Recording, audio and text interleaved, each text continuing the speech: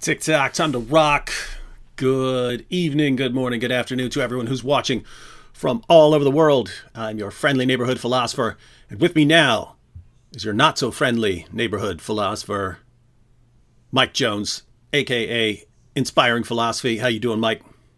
Good. How you doing? Uh, thanks for having me back. How you doing? How you doing? What have you been uh what have you been reading lately? You Oh, seem a lot like of stuff you seem the, uh, you seem like a big reader. Yeah. Uh, well, I got two books here I've been reading on the uh, critiquing the documentary hypothesis, Huh. um, exploring the composition of the Pentateuch, paradigm change in Pentateuchal research.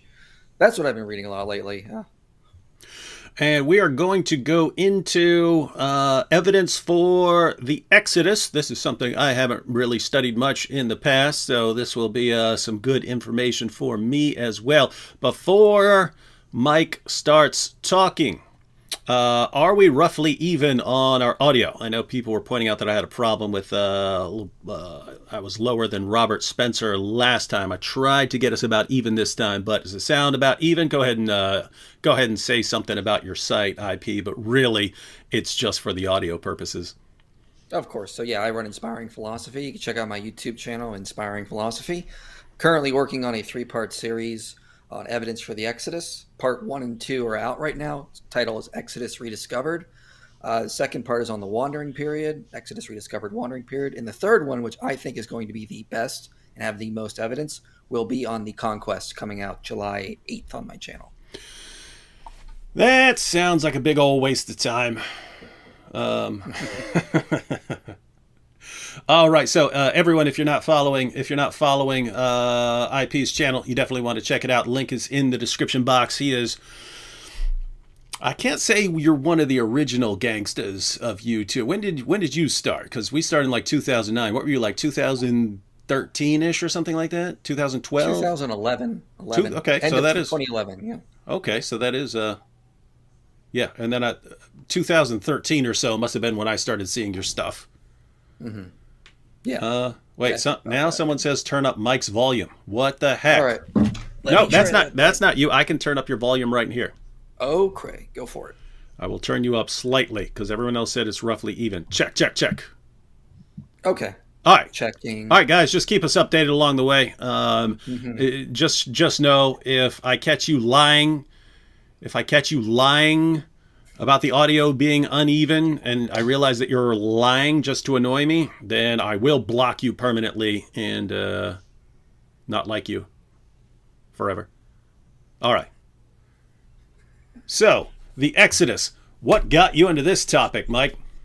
So actually, uh, got me into it was a documentary, Patterns of Evidence. That's what first got me interested in it several years ago. Uh, discovered that Exodus documentary is crap, filled with errors. Uh, then moved to the early date for the Exodus, trying which is where some scholars try to date which is around 1446 BCE. Did a whole documentary on it. Then uh, Egyptologist David Falk basically debunked it. You can check out his channel, Ancient Egypt in the Bible. He's got some great stuff. So him and I redid it, arguing for the late date, which is placing the Exodus around 1265 BCE. So I've been studying this for several years, changing my view, trying to follow the data where it leads. And it seems like the most evidence, there's a ton of evidence for the Exodus in the 13th century BC, basically arguing for the date of around 1265 and a conquest about 40 years or so after that. All right, so you've got your documentary, um, and I don't know a ton about this topic, so it looks like I'll just hand it over to you, and you could go. You could go wherever you want it. I got some slides and stuff. I got So, some yeah. slides and stuff that you sent, but uh, so you're saying that it is a real event, uh, but with a slightly different timeline than most people would. Uh, would be Yeah. arguing for. The reason is just because people go to uh, the Book of Kings and it says that Solomon built the temple 480 years after the Exodus, and they go, okay, well that Solomon builds the temple 966 BC, uh, then you can place the Exodus about 1446 BC. The problem with that logic is that we know from the ancient Near East that temple dedications used idealized numbers. We see this in Egypt, we see this in Assyria, uh, using numbers like 720 or 500 to commonly just sort of give like an idealized number for when the temples were constructed. They're not meant to be taken literal. Uh, what we do know is that in ancient Egypt, it says there was a city called Pi Ramesses, and the book of Exodus says that the Hebrews built store cities at Pithom and Ramesses. Ramesses didn't exist until the 19th dynasty, so roughly around the time of about 1300 BCE. So that means Israel would still have to have been there to construct parts of the city. So the Egyptologists that believe there was an Exodus believe it happened after the city of Pi Ramesses was built. So that places the Exodus about 1265 BCE. And that's where we see the majority of the evidence for the Exodus. We do not see evidence for an Exodus around 1446. I used to think we did, uh, but then I was corrected on that. There is there is just anything that early day proponents use to try to say an Exodus happened around that date is riddled with problems. We see a ton of evidence around 1265 midway through the Ramesside period for an Exodus. And that to me aligns more with the biblical account because it talks about the city of Ramesses. Uh, you can simply take the dates the, the Bible gives you in its cultural context to realize those are idealized numbers. They're not meant to be taken literal. Uh, and we know this from studying the biblical text in its cultural context. And uh, that uh, that is an interesting issue that keeps coming up, uh, especially in in different areas. The idea of literary devices that people used back then that are unfamiliar to us, and therefore we we sometimes don't get the point of uh, certain passages because we don't use we don't use those literary devices anymore. And uh, I, well, think I, of a here's a here's a good one everyone has to agree with. If you go to Exodus four, uh, remember, it's now, if you're going to take the dates literal, that Moses was in Egypt for 40 years, then he was in Midian for 40 years, then he came back to Egypt and he was in, he was doing the Exodus and the wandering period for 40 years. So he's supposed to be in Midian for 40 years. But if you read Exodus 4:20, it says Moses took his wife and his sons and had them ride on a donkey, and they went back to the land of Egypt. So you're telling me Moses, who was got married when he went to Midian, the, was there for 40 years. He had two adult sons, and he put his two adult sons and his wife on a donkey. Seems unlikely that that would be the case. This is something James Hoffmeier has brought up. It's more likely that his kids were still relatively young, and this is why they're able to all sit on one donkey. It's not the idea that you have two adult sons riding with their mother on a donkey. You know, why aren't they with their own families at this point? Hmm. All right. So, uh, later date. Uh, what kind of evidence do you have? All right. Well, let's start with. Can you put up the first slide one, just so people can sort of see? I can, and uh, I will. So this is a timeline. It just gives people an idea of when I'm placing the Exodus. You can sort of see this. This is how Egypt is. Um, actually, put up slide two. This is the Bronze Age uh, issues. How Canaan is divided. There we go. So this is how Egypt is divided. You have Old Kingdom. Uh, that blue area is the first intermediate period. Then the Middle Kingdom, Second intermediate period, New Kingdom. Exodus is going to happen in the New Kingdom. Most people think Joseph would have been a vizier during the second intermediate period, that little pink area right in there. Because and so basically around that time, uh, you have Joseph living. Uh, Israel or Jacob moves his family into Egypt and they settle there. Exodus opens by saying that a new pharaoh arose over Egypt that did not know Joseph. Well, we see there was a dynastic change there. The new kingdom or the 18th dynasty got going, and uh, when they took over, uh, Avaris was the capital of the uh, dynasty in the north, the 15th dynasty, reigning during the second intermediate period. According to the biography of Ahmose, the uh, general, General Ahmose, son of Abana, when they took the city of Avaris, this was a uh, Canaanite city, a lot of Canaanites there. Uh, when they took this city, they treated it like a foreign population and enslaved it. So it talks about him taking slaves. We know from archaeological evidence there was no mass exodus at this point. They probably kicked out the rulers of Avaris when the 18th dynasty took over, but the majority of the Canaanite population that was in and around Avaris stayed there, and they were basically serving their new overlords during the new kingdom. So they're staying there. That correlates with Exodus 1 about a new pharaoh rising, and treating the Israelites harshly. Again, no evidence of an exodus at this point. Early day proponents say an exodus happened during the reign of Amenhotep II. I used to think that it did not happen. what B Bietak, Manfred Bietak, who is leading excavations on the site of Avaris, will tell you is that the site was in use up until about the Ram- Ramesside period. And then midway through, the site was abandoned. And the Ramesside dynasty used the site as a graveyard. So around the time of where I have on this timeline of the Exodus, uh, or so, around that time, we can't get an exact date or, or exact year, but Avaris is finally abandoned, and the Canaanite population that was there went somewhere else. We also know at this site there was no evidence of pig bones found, but it was very much a Semitic population, a lot of shepherds that had sheep and goats. Uh, Bietak says they were not from Egypt, they came from the Sinai or further, and they were there until about midway through the Ramesside period. So you can take that down now if you want. All right. So generally, what we get is uh, Avaris has a Canaanite population. They're treated harshly. Uh, they're enslaved. They're there up until about midway through the reign of Ramesses or so, or you know somewhere in there, and then the site suddenly abandoned. And after that, the Ramesside population is using the site as a graveyard. The Canaanites or the Semitic people that were there left. They went somewhere else, but that very much aligns with what we would expect if there was an Exodus. They were living at this site called Avaris, which is in the land of Goshen, according to the Bible. Uh, this would have been the city that Joseph would have been a vizier in, because this was the capital for the uh, dynasty reigning during the second intermediate period.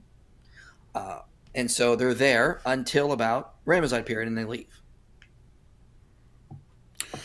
So that's uh, hmm. So that's your day. So, uh, by the way, um, it doesn't seem like anyone's labeling these like clearly like these are the the children of Israel and so on. So it's kind of kind of looking for a oh I guess that's why, why it would be called patterns of evidence in like a documentary, right? So it's not yeah. It's not yeah, we it's not, not we it's not we have this group here and we know this is this is who they were and so on. It's uh here's a group that uh, was there and then they come up and then they come up missing, so it looks like there was some sort of uh, exodus and here are some things we can know about this group from when they were there, and this fits well with the Exodus, um, but not with the traditional dating of the Exodus. Yeah. That about that about yeah. right? Yeah, it correlates. We don't. I mean, we don't have any inscriptions because again, this is in the Nile Delta. A papyrus just rotted away. We have scriptoriums that we know were there, and all the papyrus rotted away because this is not the dry climate, the dry areas of Egypt. This is where stuff is going to rot away. So we don't have any direct inscriptions. But we do know there was a Semitic population there that was uh, living there around this temple uh, to Set or Baal. Uh, and they were there up until the Ramesside period, and then they left. Uh, correlating with the Exodus. Now that doesn't prove, but it's it's it's as you suggest, it's a pattern of evidence that does align with the biblical account. All right, so is that what you got? So I got more though. uh, but uh, first, I want to uh, uh bring up uh, a lot of people think the Bible says the Pharaoh drowned in the Red Sea. It actually doesn't. Uh, if you read Exodus 14, it talks about how the Pharaoh was chasing, the army was chasing after the, the children of, of Israel. Mm-hmm. Um, it says he was, and then it says they went, they followed him to the sea, but it says then their wheels were getting clogged. So it says the chariot wheels were getting clogged, and they said that, uh, and then the Egyptians said, "Let us flee from before Israel, for the Lord fights for them against the Egyptians." So it was an indication that the Egyptians started chasing them into the Red Sea, and then they turned and started running. Uh, the Bible never says the Pharaoh drowned in the Red Sea. Even super, super conservative scholars like Douglas Petrovich will admit this. Like, he is like as conservative as you get, like very fringe he says, yeah, the Bible doesn't say the Pharaoh drowned in the Red Sea. James Hoffmeier, Kenneth Kitchen, David Falk, they'll all say, yeah, the Bible doesn't say the Pharaoh drowned in the Red Sea, which fits with the data we see from the Ramesside period, because Ramesses II did not drown in the Red Sea. He lived well past the Exodus point and died in his old age. So it's very much the idea that the Egyptians were chasing them. They turned and fled. Uh, the waters would have came covered a large part of the army, but not all of it.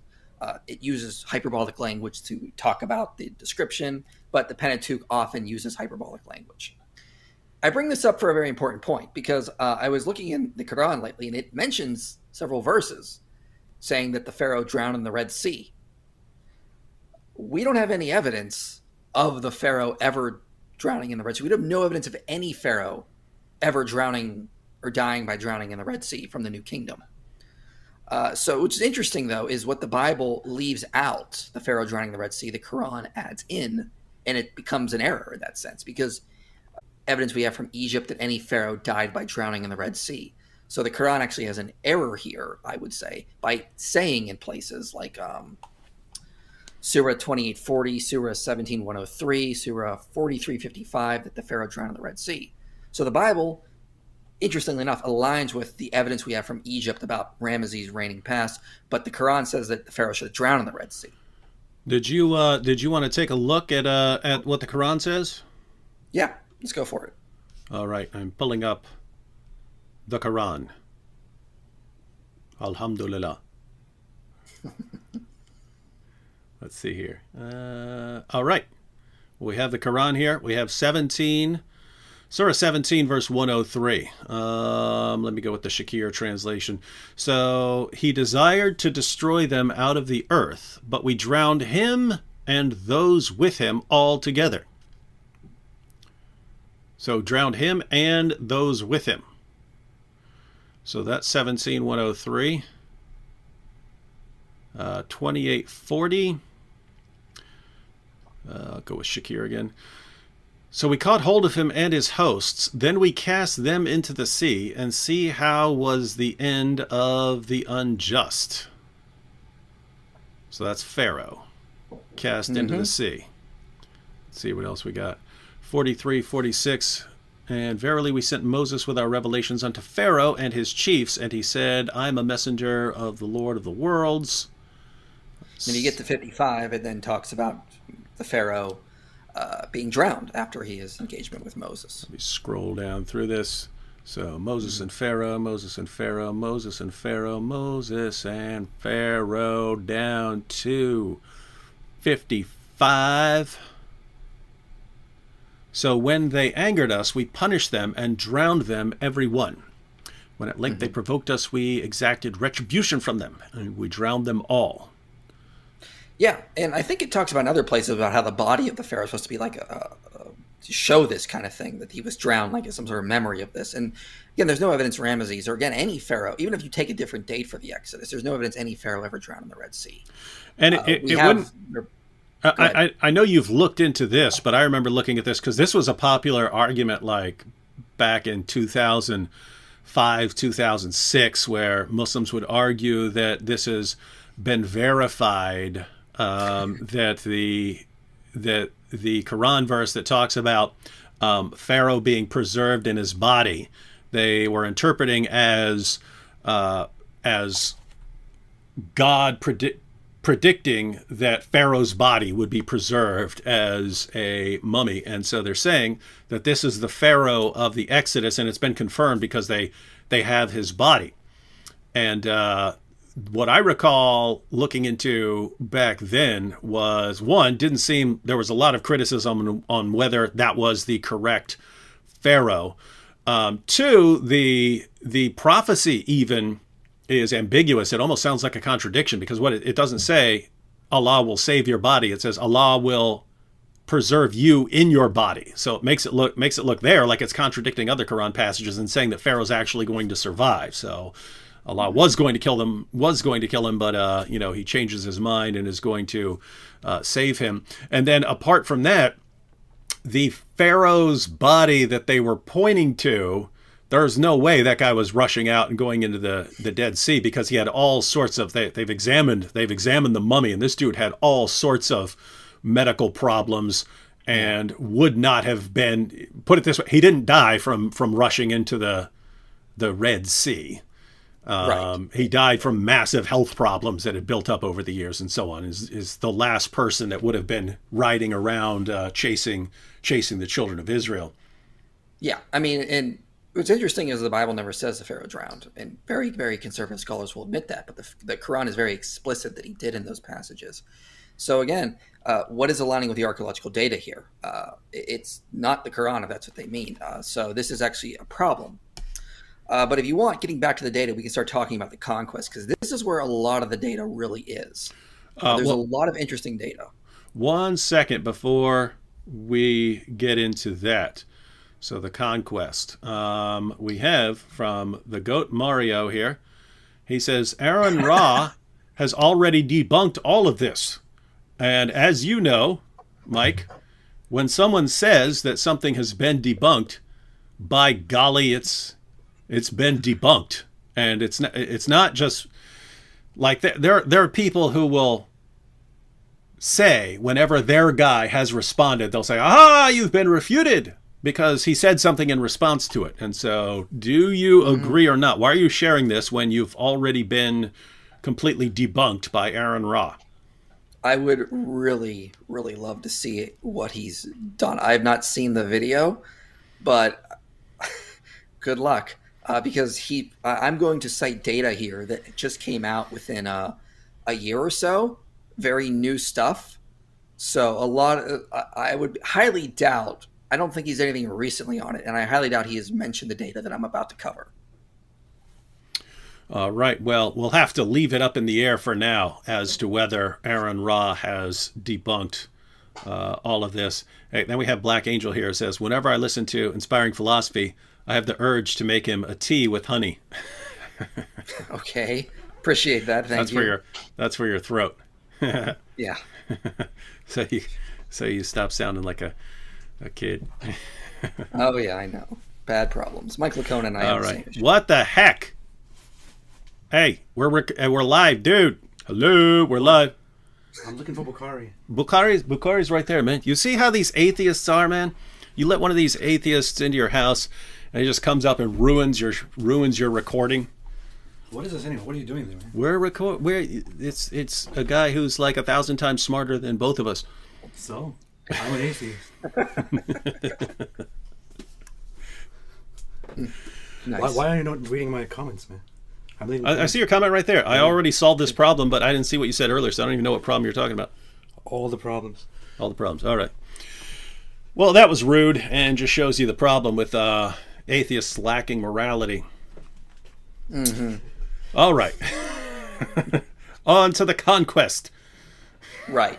So, let's talk about Jericho. Because the moment anyone mentions the conquest, an atheist or a skeptic will immediately bring up Jericho. There is no evidence Jericho was destroyed during Joshua's conquest.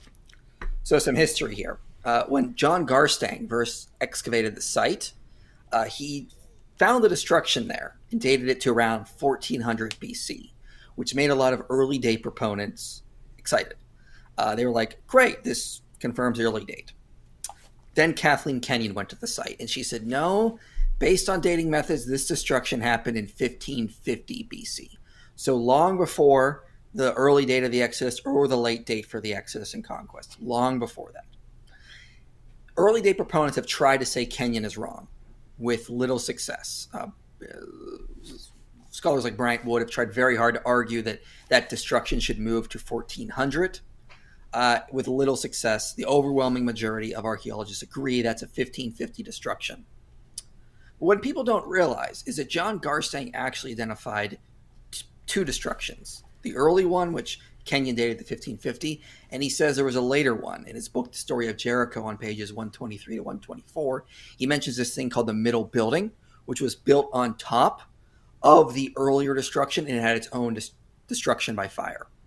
So there likely was two destructions. Well, we didn't find any really good evidence that there was a second destruction for many decades after this. But we found out why recently, because there was an archaeologist who went to the, who released his latest reports, Lorenzo Nigro, uh, and he noted that the layers that date to the time of Joshua were cut in by later builders. So occupants from the Iron Age, the Roman, Byzantine periods, they cut into the late Bronze Age layers removing them. So the reason why we didn't find any evidence of a destruction during the time of Joshua is because of uh, destruction, uh, site leveling from later builders at the site. So what basically happened was is the layers that would have revealed if there was or was not a destruction were cut in and removed, and that's why there was they they were not finding this. So it's not that there is evidence. It's not that there the, the layers, the archaeological layers, show that there was no destruction. It's that they were removed, revealing whether or whether or not there was a destruction there. So those are interesting in the latest reports that came out. Uh, however, he did say something else that was interesting. He did note that uh, that there was after the 1550 destruction, and if you want, you can put slide three up when I, I show this timeline. Uh, after the 1550 BC destruction, they did rebuild on top of the site with a fortified mud brick structure. Uh, the site was there uh, during 1400s, during the 1300s. Uh, we can see that there was a mock occupied structure. Then he says something interesting. He says, uh, Iron Age 1 was detected only in a few places on Spring Hill. Diagnostic ceramic material was dated to the 11th century BC and may be related to a rural village that rose out of the ruins of the late Bronze City. In other words, we see there was a late bronze fortified structure that was there, and then in the Iron Age, it, it something happened. We don't know because the layers have been cut into. But after that, we see there was just a rural village. So this is in Lorenzo Nigro's latest reports, the Italian Palestinian expedition to Tel es Sultan, ancient Jericho, 1997 to 2015. So essentially, the archaeological data does not contradict Joshua's conquest. It doesn't confirm it per se, but it at least it aligns with it. Because we've been told for decades now that Jericho debunks the Exodus because it shows there was no uh, destruction there. Well, the latest reports showed us that the reason why we weren't finding a, a destruction layer was due to site leveling. But we do see there was some sort of change that happened at the end of the late Bronze Age, which is around the time of the conquest. There was a mud brick fortified structure uh, that seems to have fallen into ruins somehow, and after that, a rural village arose onto the site. So, despite what the uh, skeptics say, Jericho does seem to align with the biblical account. Although more data needs to come out, we need to figure out if we can find dig in other areas around the site to find those missing layers that later builders cut into. But that's what the latest evidence shows. It doesn't actually debunk the biblical account; it can align with it quite nicely.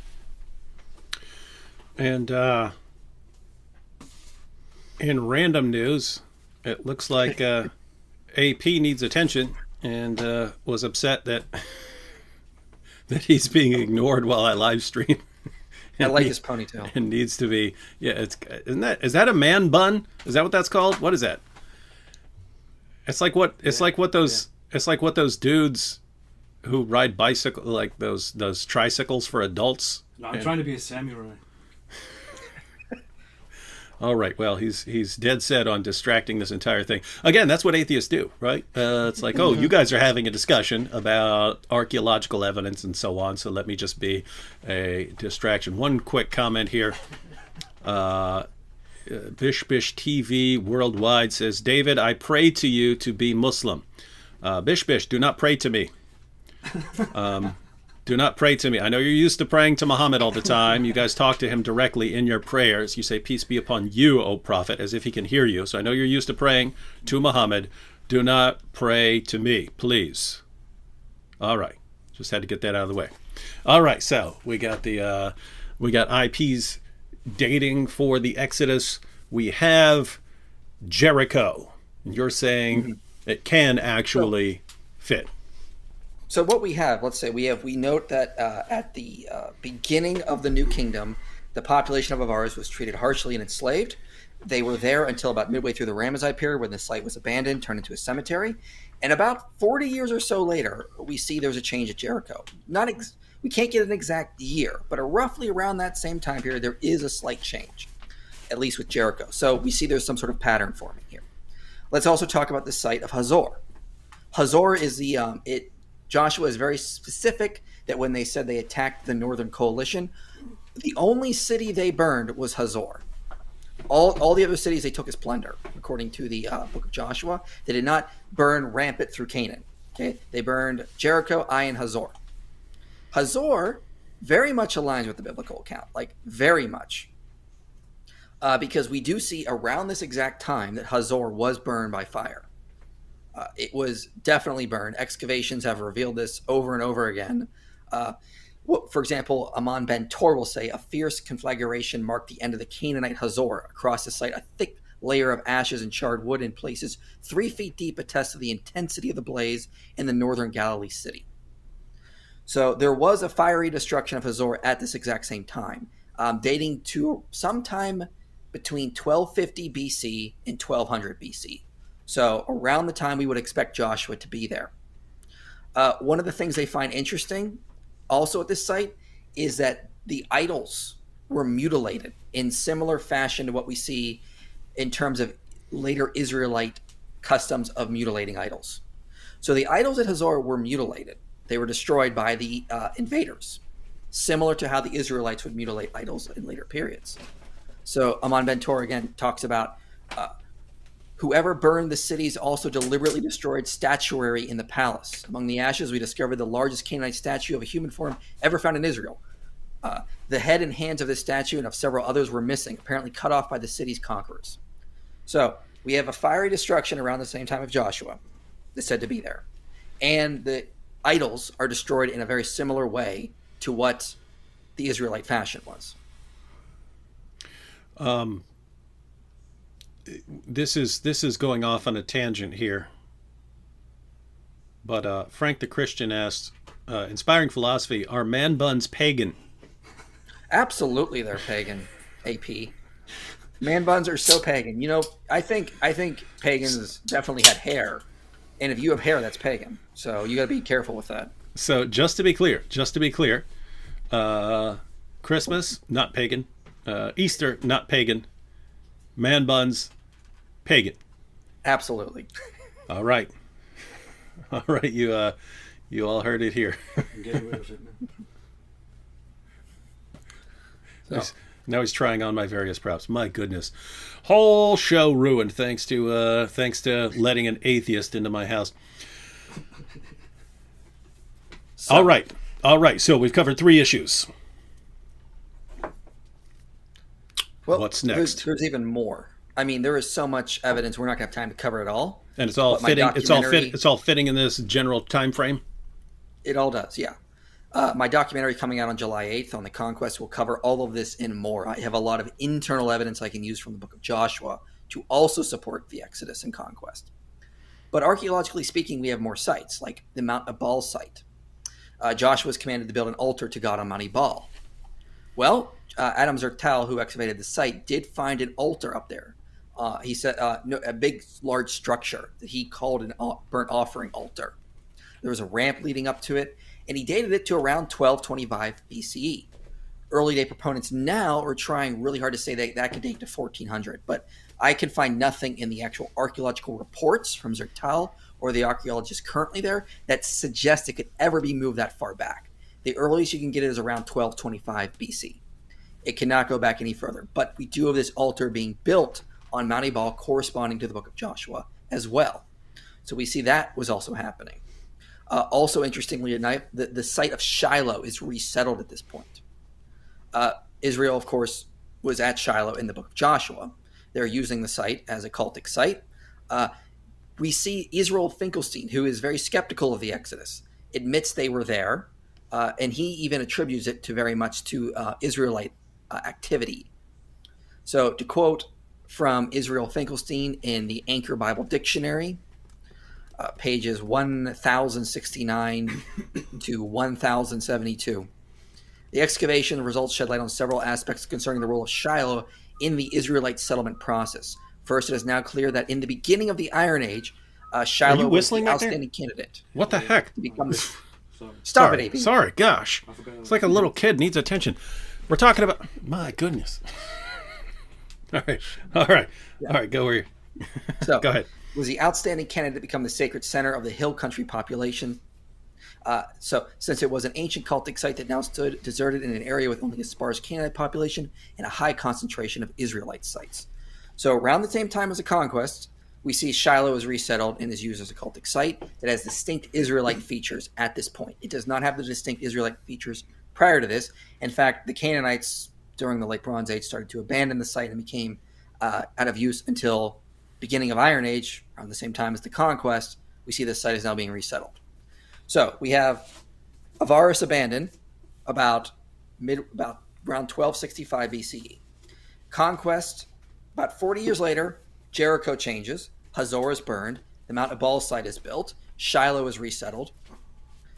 So we're seeing a pretty clear pattern here. There definitely is some evidence that corresponds to what we read in the Pentateuch in the book of Joshua.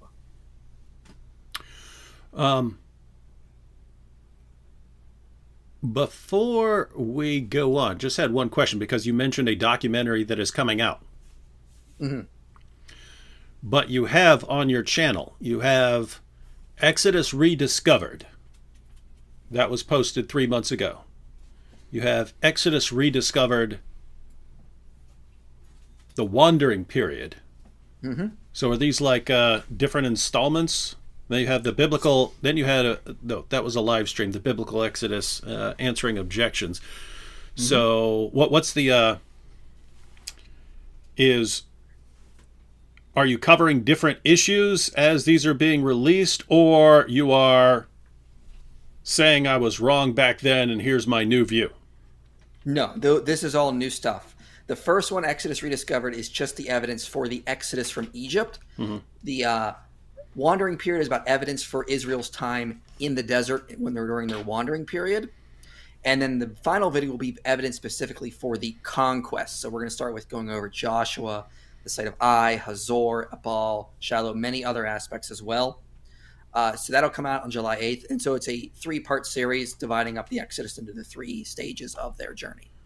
What about um, even earlier stuff? So you can go back a year ago to Israel and Egypt, biblical mm-hmm. archaeology. Yeah, that's stuff for evidence of possible correlations for the account of Joseph. Not a lot because that period of Egypt is very we very limited and fragmented. We don't have a lot of data from that period, but there are some interesting correlations. I also have a video up on Abraham showing that he likely lived during the Middle Bronze period, uh, stuff like that as well. So, but the Exodus is where I'm now focusing on in conquest as well. All right, the floor is yours, sir. To continue. All right, so people really want to know. So let's think about this. So, as I said earlier, when Avaris was abandoned during the Ramesside period, where did they go? Okay, we cannot prove they went to Canaan. We can only show correlations. But what we do see in Canaan about the beginning of the Iron Age, there is a population explosion that happens.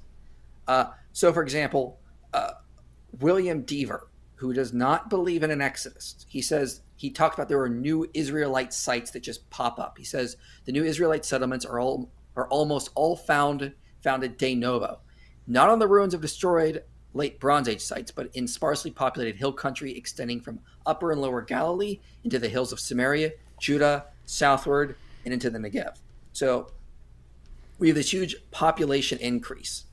Kenneth Kitchen talks about how in some areas uh, we saw like roughly like a dozen sites in the late Bronze Age. Moving into the Iron Age, we see like 131 sites. Or we see in some areas about a dozen sites go up to 200 sites. Like very dramatically, very drastically. If you want, you can put up uh, the last timeline I have. Uh, I think it's slide four. You can sort of, and I sort of just give a rough take of like the population change. Like it's a sudden dramatic change. So, slight distraction here. Not the obvious, not the obvious one. Uh, Safraz Hussein says, Devad would accept Islam. Um, I have no idea who Devad Wood is or why he should accept Islam, but uh, Safraz, you got some problems. You got the most, in order to accept Islam, you have to accept the most obvious false prophet in history. I mean, every criterion you could come up with of, of how a person could show that he's a false prophet, Muhammad meets the criterion uh, more than anyone else in history. I'm not joking when I say most obvious false prophet in history. Um, and then you say, why should we believe in the most obvious false prophet in history? And you guys, your your apologists make up stuff. Oh, because of the perfect preservation of the Quran. Well, the Quran ain't been perfectly preserved. What are you even talking about? Ah, but the miracles, the miracles of Muhammad. Uh, he didn't perform miracles according to the Quran. Ah, but the scientific miracles. You mean the book that says that the sun sets in a muddy pool and you can, you know, go there and there are people who live there and what what are you talking about? So I'm sorry, um, no one is going to accept Islam just because you say that we all need to accept the most obvious false prophet in history. Uh, I would believe that this guy's a prophet right here. I would believe that this guy's a prophet before I would believe that Muhammad's a prophet. I am. All right. I, I apologize. We, we, we have interruptions coming from every direction now, like literally sure. in the room with me. Look, They're perfectly fine. So, can you pull up uh, the chart of slide four? I think it is. Um, the chart or the uh, timeline slide four. The no, wait a minute. Well, slide five is the map. Let's see what. Let's just see what these are. Slide four is. There oh, that's is, more yeah. of your timeline. Okay, that was that's the one you want. Yeah. Okay. So yeah, you can see. Basically, I'm just giving a rough idea of what sort of happened around. The, so right around the time of the conquest, there was a huge population explosion in Canaan. Uh, so for the book Archaeology of the Land of the Bible by uh, A. Mazar says intense archaeological survey surfaces revealed an entirely new settlement pattern in Iron Age 1. Hundreds of new small sites were inhabited in the mountainous areas of the upper and lower Galilee, in the hills of Samaria, and Ephraim, and in Benjamin, and in the northern Negev, and in parts of central and northern Transjordan. Much of this activity can be related to Israelite tribes. So they're basically saying that roughly around this time, huge population explosion, new sites everywhere. You can put up the next slide if you want, and this comes from William Dever's book. Uh, he, he again, he's skeptical that these people came from Egypt, but you can see these are all new sites that are just sort of appearing in Canaan around the same time that we would expect Joshua's conquest. Uh, so, so j- just just to be clear, just to be clear, um, so these are uh, sites with people that are springing up that uh, people would grant, hey, yes, these are you're having these uh, these spots of growing populations and so on, and it corresponds to the time when you were pointing out another group was leaving, but people wouldn't necessarily say that this is this is the same group that was leaving Egypt. Well, yeah, it, it's weird. It just the Avaris is abandoned about 40 years earlier, and then about a generation or so later, all these new sites show up in Canaan. Also, Hazor is burned. The Ebal site is built. Shiloh is resettled. Jericho has changes. Uh, it just seems everything is correlating. And if you want, you can put up the last slide. And this comes from Lawrence Stager's book, or not his book, but his chapter in the book. All right. This so is, you can uh, see this is actually bigger. I can scroll down if there's something you want to see. Uh, no, this comes from the book, The Oxford History of the Biblical World, mm-hmm. uh, Lawrence Stager's chapter, and he shows the changes. You see in the first column, the late Bronze Age, these are the sites in those areas. Very little. All of a sudden, Iron Age, look, some sites are, you know, quadrupling, you know, quintupling, you know, you know, dozens of just new sites, new population. Where did all these people come from? Uh, the the skeptical response is that this this is what Israel Finkelstein and William Dever will say is that when the Middle Bronze Age cities collapsed around 1550, these people became nomadic shepherds and stayed in Canaan. Uh, they were just sort of there and being archaeologically invisible, and then they became Israel and resettled in the hill country, creating these new sites. That seems ad hoc, a little unlikely. Uh, this is just a huge, huge amount of people. And so Kenneth Kitchen, in his book on the reliability of the Old Testament, responds to them saying this just seems more likely this is about an influx of outsiders coming in. We also know during the Late Bronze Age, Egyptian pharaohs like Tutmosis III, Amenhotep II were depleting Canaan of its population, taking them back to serve as slaves in Egypt. So we know that a lot of people were taken back to Egypt. And we, what does the Exodus say? It says a mixed multitude went up with Israel. So it could have been a bunch of other Semitic people groups going back to Canaan during the Exodus. But we see this huge population explosion around the time of Joshua's conquest. It's possible that all these new sites come from Canaanites that were living as nomadic shepherds and were entirely invisible, and they just decided to settle, make all these new sites. It just seems far more like likely that what's actually happening is an influx of outsiders invading, coming in and, and making these new sites. Uh, that and of course that aligns with the book of Joshua, Exodus, this idea that there was these people that came in from the outside and it seems to fit with a pattern we can see of evidence. We see that Avaris was abandoned. That site had no pig bones. 40 years later, all these new sites are popping up. Guess what? None of these new Iron Age 1 sites had pig bones. Hmm. And so it's uh it's kind of like a because you don't have a lot of the direct evidence or inscriptions or act, you know sources outside the Bible for uh, a lot of the details. It's like archaeology. Um,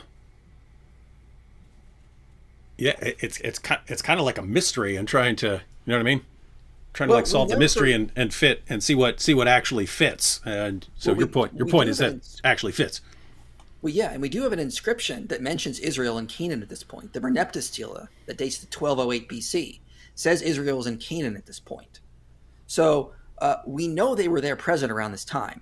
So we can so if we know they were there, we could they're already a very likely candidate for the destruction of Hazor, the Ebal site, the Shiloh resettlement, uh, the changes at Jericho. The Merneptah directly says they're there in 1208 BC. So they're already known as like a group of people there at that point. We don't ever see them mentioned in any sort of inscription prior to this. So there is no mentioning of them, despite people's misuse of the Berlin stele. There is no mentioning of them prior to this point.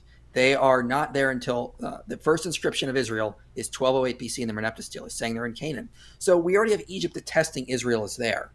So we don't have to. So why would we come up with alternative explanations to explain why Hazor was destroyed? Changes at Jericho, the Ebal site, the population explosion, when Egypt is already telling us that Israel was there. Um, little side, little. I have no idea why so many people from so many directions are trying to distract everything. David Wood, please don't retire. Don't let the Momo circus continue unchallenged. Guys, have you ever heard me say one word about retiring? No. You've heard me say no. Quit, quit reading. Quit reading titles of videos and not paying attention to anything I say in the video and then responding based on the title of a video that you didn't watch. Uh, one more here. Rum Runner. No, God. Rum Runner. This is what? He says. Now this is this is funny because I mean this is a this is a common Muslim response when they're when they're desperate to show that uh, that Jesus was violent too. Notice when you point out that Muhammad had sex with a little girl, they, aha, but Mary was young too. They try to turn everyone into pedophiles in order to defend one pedophile. Um, yeah. And then, and then when you point out Muhammad called for the violent subjugation of the world and told everyone to go around uh, slaughtering people in his name, uh, then what do they do? And instead of defending him, they try to make Jesus sound the same. And this is one of the main ones. But the guy's channel's name is Rum Runner and it's not like it's not it's not an Islamic channel. So I don't know if this guy absorbed the the same stupid arguments and so on. Uh, I hate to do this IP, but uh, I do love exposing uh, a lot of nonsense. So let me just scan this real quick, like uh, just oh, take yeah, a, I know this just take a quick look at the at the passage here. So what our friend Rum Runner is pointing out is yeah, if you go right down here and you ignore all the rest of the whole passage, but as for these enemies of mine who did not want me to reign over them, bring them here and slaughter them before me. You see there? That's Jesus saying, But as for these enemies of mine who do not want me to reign over them, bring them here and slaughter them before me. You see, it's Jesus telling his followers to go on a killing spree. But now I'm confused. Why didn't Peter and John and James, why didn't they go on a killing spree right after Jesus commanded them this? Oh, because it's a story. now look, it's a parable. Now look, we just go back. Look what happens when we actually read things in context. Here we go to verse 11. As they heard these things, he proceeded to tell a parable. because he was near to Jerusalem. Look, look at verse 12. He said, Therefore, a nobleman went into a far country to receive for himself a kingdom and then return. Calling ten of his servants, he gave them ten minas and said to them, Engage in business until I come. And then so he leaves. He eventually comes back, finds out that uh, some people have rebelled against them. And then the king, the nobleman in this story, at the end of it says, But as for these enemies of mine who did not want me to reign over them, bring them here and slaughter them before for me. So, following this logic, since I just read the story, you could quote me and say, Ah, but here's David saying, But as for these enemies of mine who do not want me to reign over them, bring them here and slaughter them before me, because I said it while telling a story. Mm-hmm. This is just amazing stuff, man. This is this is amazing stuff. You can literally be telling a story and say, "Hey, this character in my story says this," and then you see, you said it. and what's fun? What's funny is like you expect like stupid people to use this, right? Uh, because I mean, you you you actually have to be you, you have to be stupid or or very poorly informed um, or deceptive. Those are, those are the options if you're using this. But keep in mind, people like Ahmed Deedat and Zakir Naik are the ones who use this and popularize it, right? So these are these are Islam's most popular apologists, completely distorting and misrepresenting the words of Jesus in order to deflect attention from Muhammad. What a religion, man! What a religion! All right. yeah, it's Sorry, about it's whataboutism. It's whataboutism. It doesn't actually make us like Muhammad anymore.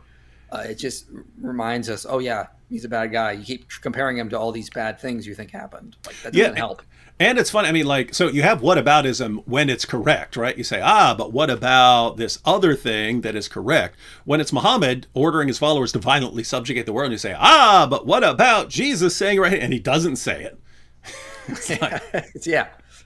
Oh, Muhammad had sex with a nine-year-old girl, but what about Joseph and Mary?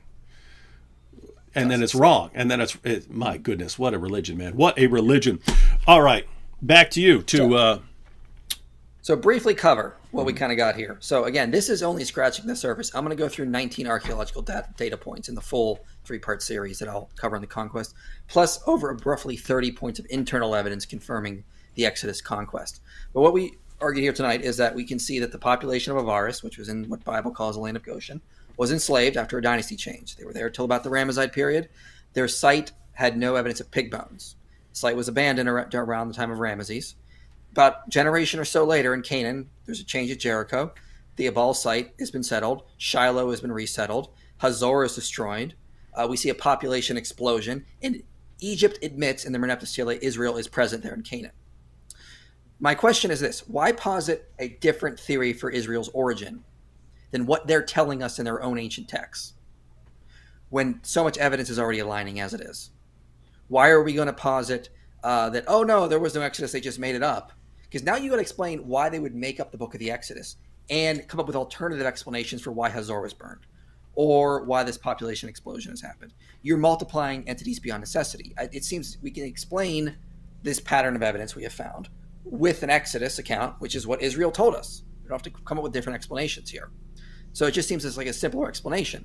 And none of this would actually uh, prove God exists. It does support the biblical reliability, but you could have and believe there was an Exodus account. Like it doesn't. I don't see why would you want to even just reject that entirely. It seems entirely fair. You could have this could all just have been a natural event, and people interpret it as God's will, as God acting, but it can still confirm an Exodus account. I don't see why skeptics go so far as to deny the Exodus. Yeah, there is a. I mean, if there was just absolutely nothing that fit and so on. And so if you just had the Bible and it was the Bible versus everything else, then obviously if you don't take the the Bible as an authoritative source and it's it's going against everything else, then you you'd see the problem and not want to take it seriously. But uh, th- there is this issue, and same thing with the New Testament of people not wanting to treat the Bible as any kind of source at all, which seems insane to me, right? You, you you've got you've got grades here. So you've got inspired, inerrant word of God, and then you go all the way down to okay, these are some ancient docu- ancient documents written by people who weren't inspired. Well, I mean, like, I don't believe the Quran was inspired. I still believe you can learn all sorts of stuff about the beliefs of the people at the time and learn all kinds of things about what was going on because it's it's a it's an an old source. Um, and so it, it is just weird, right? That uh, so you'll historians will find all of these details that line up that match up with Jesus, but you'll you'll you'll have people that if the Bible is your source about something, then even if all the stuff we know historically fits with the, the biblical picture of Jesus, there there just there are people out there who won't count the Bible as any kind of source at all. And so looks like we have something similar with the Exodus. Uh, so the question you asked was, why are you not? If you've got all these details and they fit with this picture, and then you've got this book which is explain, which is tying everything together and telling you how this happened. Why is that just being automatically discounted and saying this has this has nothing to do with our picture? Here are the things that we know from outside the Bible. Wait, did you say you have grapes? You trying to you trying to Man, eat some grapes, dude. What the heck? Sorry.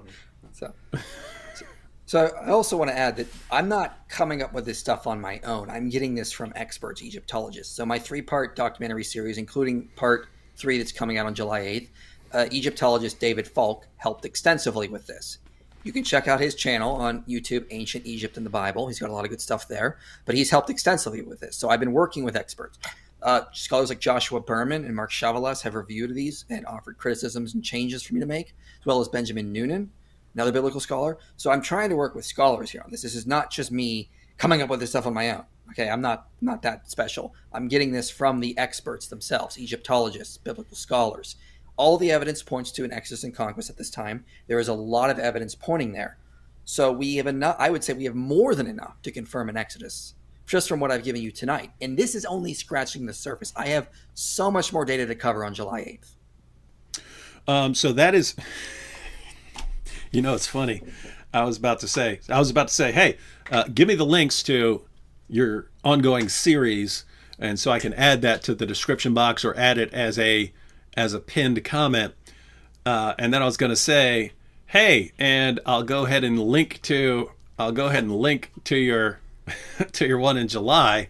And I was like, wait a minute, this channel's deleted July 4th. so that's not going to work.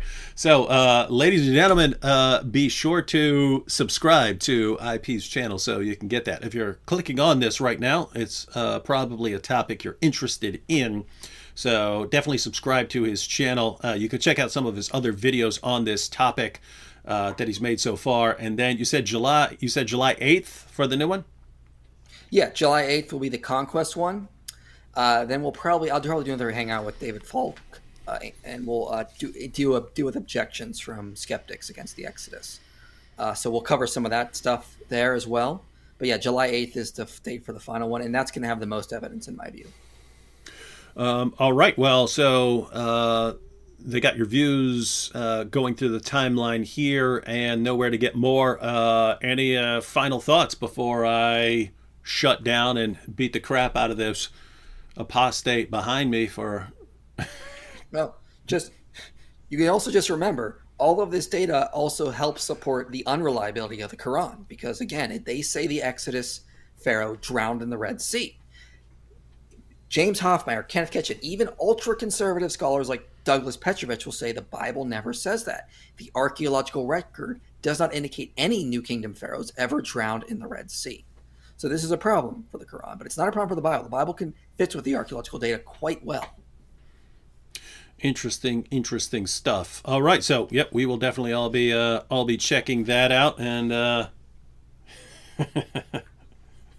I I, have this I have this amazing inclination to keep to tell people to come back for the the link when this channel's not going to be here. It's so it's so funny. All right, so uh, ladies and gentlemen, um, if you're not familiar, I mean, you've been on with me several times right now. I want to say, hey, if you if you don't know who, if you're not following Inspiring Philosophy, then I mean, it's kind of your fault, right? It's like mm-hmm. it's not like like there are new channels, there are new channels and stuff where I would say, hey, make sure you follow this guy's channel because he's new and you don't know him. But if they don't know you by now, there's something uh, something just wrong with him. So if there there's a uh, if there's uh, anyone out there who's not following uh, inspiring philosophy, definitely, definitely, definitely check that out. Uh, he is going into a into uh, some great depth on a lot of topics that are very relevant uh, to uh, Christians and to critics of Christianity. So definitely, definitely uh, check out that channel. Who's that guy again? Is he a YouTuber? Something? My goodness, man! everyone, everyone, stop right now. Uh, sorry, uh, inspiring philosophy. Mike Jones, uh, stop for a second. Everyone, just give uh, the apostate prophet attention here because he obviously needs attention. Okay, just wait.